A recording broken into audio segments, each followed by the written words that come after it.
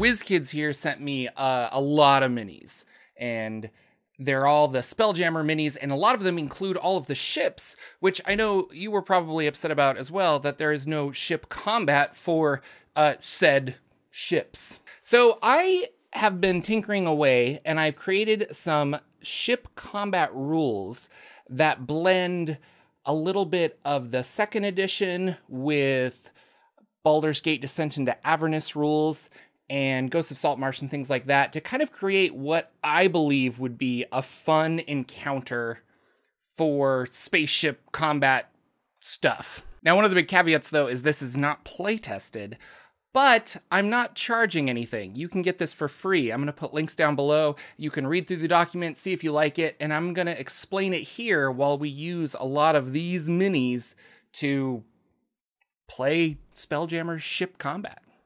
A lot of these rules are taken from second edition, and I kind of just extrapolated on them to make them an easier fifth edition.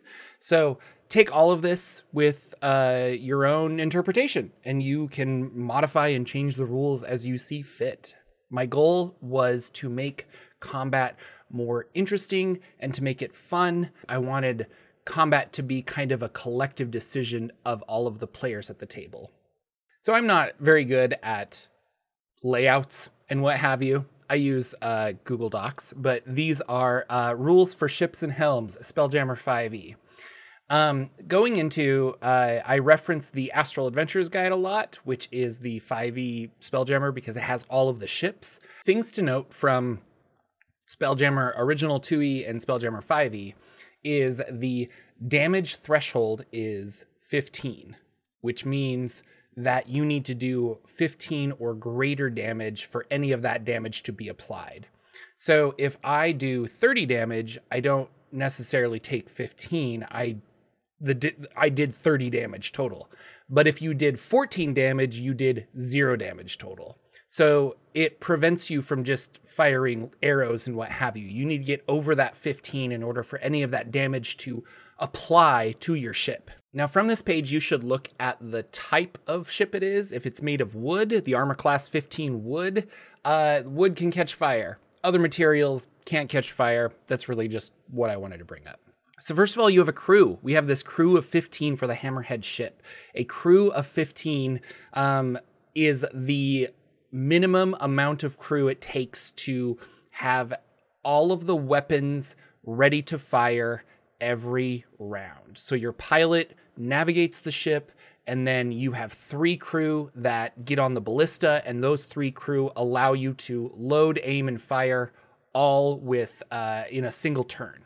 So looking over at ship's weapons, if your if your crew is killed or damaged or attacked or something like that, then you won't be able to fire your ballista every single round. So if I have a, like crew of three, they're on the ballista, one action to load, aim, and fire. But let's say one of my crew members gets killed by something that happens on our ship, all of a sudden I can load and aim it, but I can't fire it.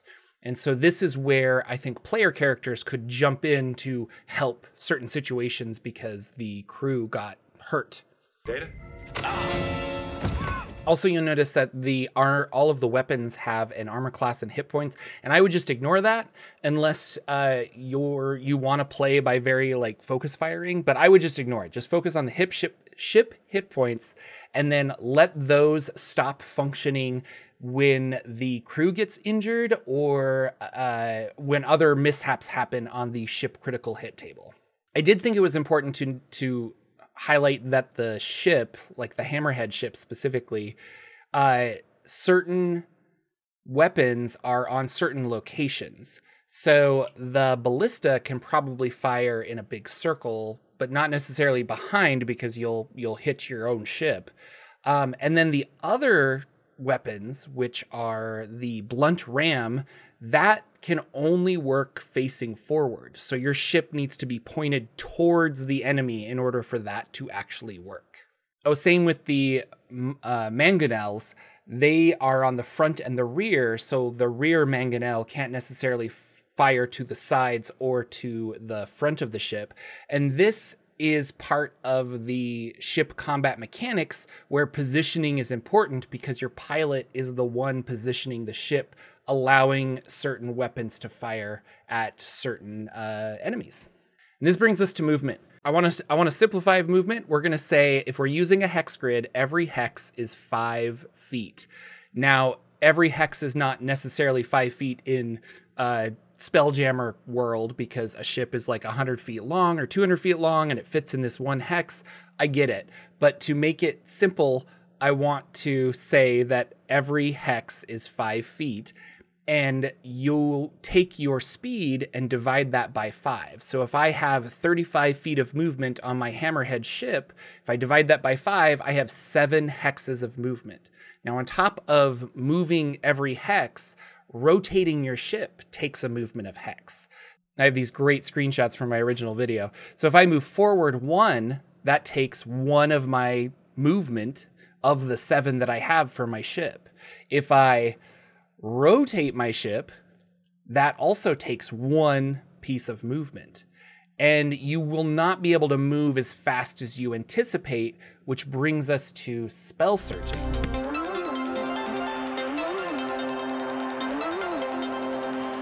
Kind of jumping ahead, but I wanted to say so spell surging is where the spellcaster pilot can sacrifice a spell slot that they have. Um, so if they have uh, fifth level spells, they can use one of their fifth level spell slots. It is gone. It's as if you cast a fifth level spell, but you gain five extra hexes of movement. So you can you can spell surge. You can push your ship farther than its normal means. And this is a gamble because at the end of a spell surge, you need to roll a d20 and roll under the spell level you used. So if I used a fifth level spell, I would want to roll a six or above to avoid uh, a mishap. But if I roll a five or below, then we would roll on a table, and it's like I pushed my ship too far, it's falling apart, something happened, uh, and that's the spell surge table. So the risk reward is there for the player to uh, to to move forward. So jumping back up a little bit, uh, pilots, uh, spell jamming ships require a pilot. Uh, you have to attune to it. Um, I'm using most of the the main rules in uh, the fifth fifth edition Spelljammer stuff. So you have to you have to do that. If you're proficient with a vehicle, I think you should be able to add your proficiency bonus because why not? How many people take vehicle proficiency? I think it's kind of cool that you could do that. Um, and that you can fly for 12 hours before you need a rest. And if you push yourself harder than that, you're going to suffer uh, levels of exhaustion. I wanted to minimize direct attacks on the pilot because that seems like a very easy thing to do. Like, I'll just go for the pilot. Um, but instead, a pilot can only be attacked by a boarded crew. And a pilot will have half cover when they're on their spell jamming helm. This could be the position of where the, the helm is, or this could be magical forces protecting it. Up to you. I just think give them a break. They have half cover. Now, the pilot uses their movement to move the ship on their turn. They use their bonus action to spell surge. They still have their action. So if there are people coming down to attack the pilot and remove them from the helm, he could he or she could use their spells like magic missile to push away people or to repel things or to cast shield on yourself. So there's a, a they still have their reaction and they still have their main action. So here's where we get about critical hits. So critical hits occur when uh, a natural 20 on an attack roll against another ship, specifically ship, not monster, because monsters can't roll necessarily on the ship critical hit table, but ships can. So a natural 20 against that ship, um, or if the ship's hit points dip below 50%. And yes, if you roll a natural 20 and you add up all that damage and it also dips the ship below 50%, you would roll twice on the ship critical hit table. Now, this is just a d20 table, but it has things like the ship loses uh, extra hit points on that attack. There's a random crew casualty, so now you're down crew, which means some of your weapons might not work. The ship is shaken, which means everybody needs to make a dexterity saving throw, or they might get thrown off of the ship and then have to find out how to come back on. Uh, there could be a maneuverability loss where you're unable to turn your ship for a round. Uh, there could be a fire on your ship.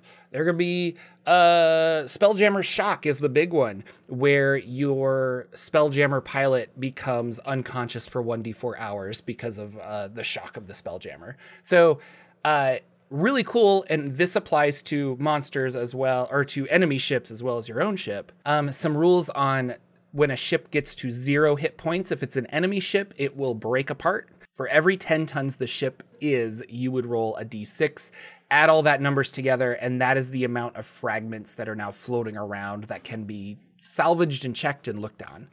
Um, if your ship that you are piloting, uh, your party ship, if it is uh, reduced to zero hit points, uh, the pilot should make death saving throws specifically for the ship, not for the pilot himself.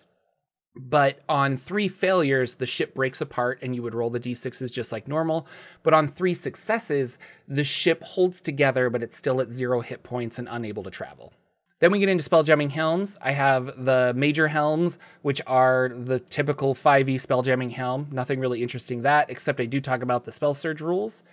Uh, and then there are Mind Flayer helms, which are pool helms, uh, Beholder helms, and then Forges and Furnaces, which are Dwarven helms, where you can literally sacrifice magic items to give you a spell surge bonus going forward.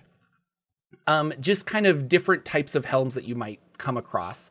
And then the other fun one, the Neogi Life Jammer helms, which use your hit die to actually uh, propel you forward. So you're sacrificing your life, your hit dice, to uh, move the ship forward. And I thought that was really cool. And then I have some closing stuff and resources and inspiration at the end.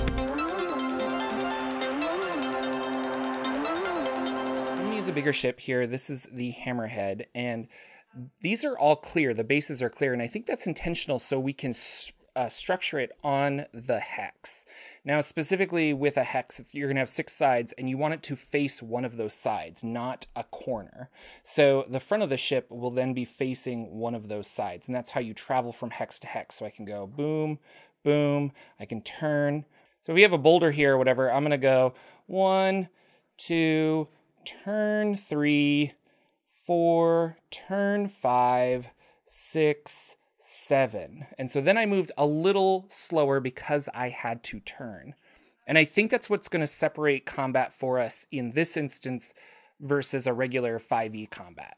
Now, the Wasp has a speed of 50, so we're going to say they can move 10 hexes, and that is also part of their turn. So they can go one, turn two, three, four, turn five, six, seven. And so you can see they can move a lot more around the battlefield than um, a larger ship like this that has just a slower speed. Now, if you have just a regular spelljamming helm, your spelljammer pilot will be able to do something that I'm calling spell surge, which is during their turn as a bonus action, they can move the amount that they want to move, and then they can also spell surge to burn a spell slot that will give them that many more hexes. So if I burn a fifth level spell slot, I will be able to move five more hexes. And this is just a way of the sorcerer who is, or the spellcaster, and this is a way for the spellcaster who's in charge of the ship's movement to have something extra to do. Maybe they can get in range. Maybe they can use this to get out of range. Uh, maybe they can use this to hide behind um, something so that the other person gets into a more interesting uh, point. Maybe they can use this to hide behind something so that the uh, other ship can't necessarily target them because of line of sight.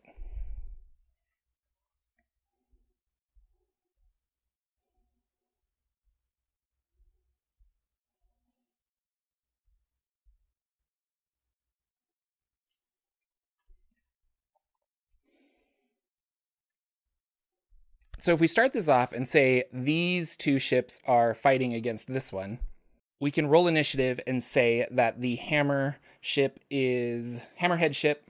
We can roll initiative and say the hammerhead ship is going first, and it can move seven hexes, and it can also fire um, some of its weapons.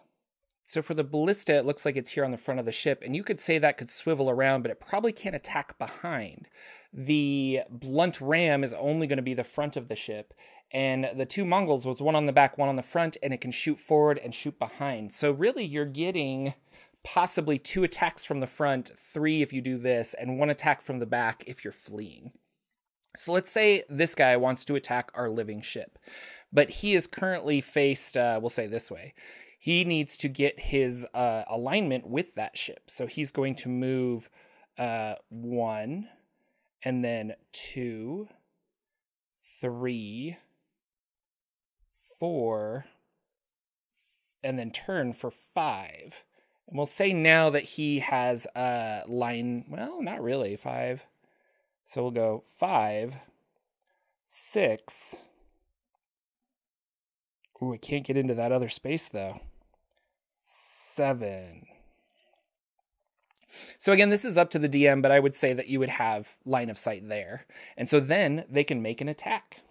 Um, or this guy could spell surge for like three and try to get out of the way. So one, two, three. And so that's it, ladies and gentlemen. This is pretty straightforward. I've been working on this for quite a bit. Like I said, I haven't super play tested it, but it's one of those things where I the the 2e rules really did work just fine. I think we just needed to clean them up a little bit and make them a make a 5e version of it, which is what we were expecting Wizards of the Coast to do, but they didn't. So let's do it. Let's go have Spelljammer adventures. There's literally a free Spelljammer adventure on D&D Beyond that you can take and run and I would love to know if you try out these new rules and if they work out. Thanks again, WizKids, for giving me all of those minis to make this. So I hope that this makes ship combat more fun for you guys. I think it would be a lot of fun for me. Um, if you run into any problems, let me know. You can email me at Jordan with a PH, so J O R P H D A N at gmail.com, and just put the title as uh, Spelljammer Rules and I will take a look at it and maybe we can make this a living document and update it uh, whenever we need to. Thanks again for watching, everyone, and I will see you all in the next video.